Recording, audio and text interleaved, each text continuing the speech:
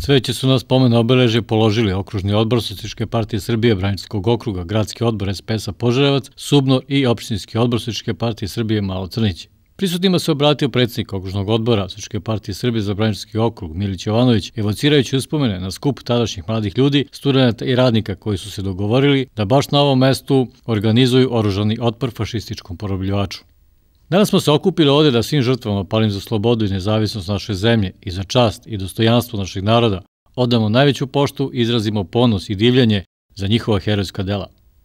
Veliki datumi Srbije obavezuju savremene generacije na veliko poštovanje nacionalne istorije naše zemlje.